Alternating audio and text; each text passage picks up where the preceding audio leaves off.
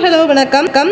முன்னாள் முதல்வரும் அதிமுக பொதுச் செயலாளருமான எடப்பாடி பழனிசாமி வெளியிட்டுள்ள செய்தியில் கூறியிருப்பதாவது சமூக ஊடக பத்திரிகையாளர் சவுக்கு சங்கர் ஒரு சி ஒரு சில சர்ச்சை கருத்துக்களை வெளிப்படுத்தியுள்ளார் என்று குற்றம் சாட்டி கைது செய்தது காவல்துறை. அவர் தெரிவித்த கருத்துக்கள் தவறானதாக இருந்தால் சட்டப்படி நடவடிக்கை எடுக்கலாம்.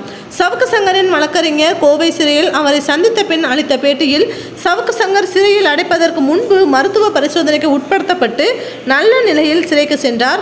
இந்நிலையில் கோவை சிறையில் அவர் கடுமையாக தாக்கப்பட்டுள்ளதாக வழக்கறிஞர் தெரிவித்துள்ளார். எனவே மாண்புமிகு நீதிபதி ஒருவரை அனுப்பி நேரில் சவுக்கு சங்கரின் உடல்நிலை குறித்து ஆய்வு செய்ய வேண்டி மனு அளித்துள்ளதாக வழக்கறிஞர் தெரிவித்துள்ளார். பத்திரிகை சுதந்திரம் என்பது மூச்சுக்கு முன்னூறு தடவை வாய்ச்சவுடால் விடும் விடியா திமுக அரசியல் பத்திரிகையாளர்களை தாக்கப்படுவது சர்வசாதாரணமாகிவிட்டது மேலும் பெண்களை இழிவாக பேசி பெண்களுக்கு எதிரான குற்றச் செயல்களில் ஈடுபடும் பல திமுகவினர் மீது இந்த விடியா அரசு நடவடிக்கை எடுக்காமல் இருப்பதால் அவர்கள் சுதந்திரமாக நடமாடி வருகின்றனர். சட்ட நடவடிக்கைகளும் நீதிபதியும் அனைவரும் சமமானதாக இருக்க வேண்டும்.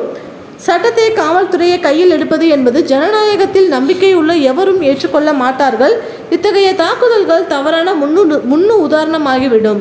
எனவே கோவை சிறையில் பத்திரிகையாளர் சவுக்கு சங்கர் தாக்கப்பட்டாரா என்று நீதிபதி ஒருவர் மூலம் விசாரணை நடத்த வேண்டும் என்று வலியுறுத்துகிறேன் என இபிஎஸ் வெளியிட்டுள்ள செய்தியில் தெரிவிக்கப்பட்டுள்ளது.